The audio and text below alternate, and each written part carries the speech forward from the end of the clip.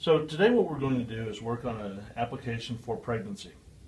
One of the things that will happen during pregnancy is there will be a lot of low back pain. There can also be pain that will be here in the, log, the long ligaments on the anterior or front portion of the ilium or the pelvis. Now, as the baby progresses um, and as the pregnancy progresses, you'll find that the pelvis becomes more and more unstable. It'll be very sore.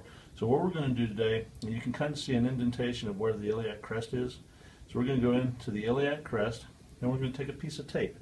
Now the first piece of tape we're going to do, we're going to cut the two inch ends, or actually tear the two inch end right here, and place it in line with the iliac crest approximately.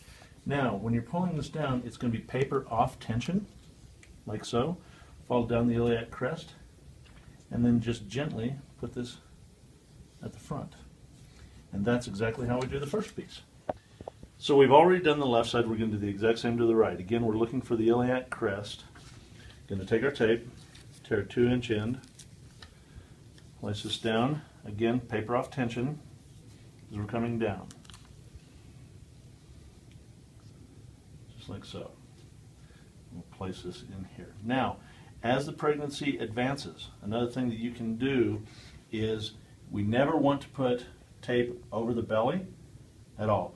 But as the pregnancy continues, if needs be, we can take a tape, piece of tape and put it over the pubic symphysis, holding that a little tighter as the pregnancy advances. We're not at that stage with this client at this point in time.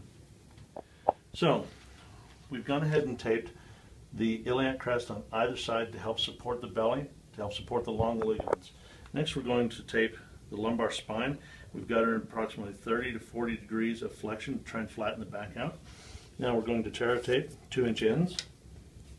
Find approximately T12 up here. And here's the spinous process, a little bump. And we want the tape, when we put them apart, to be approximately half to one full finger width apart.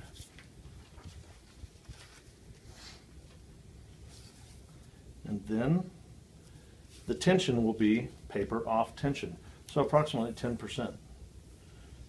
Down either side.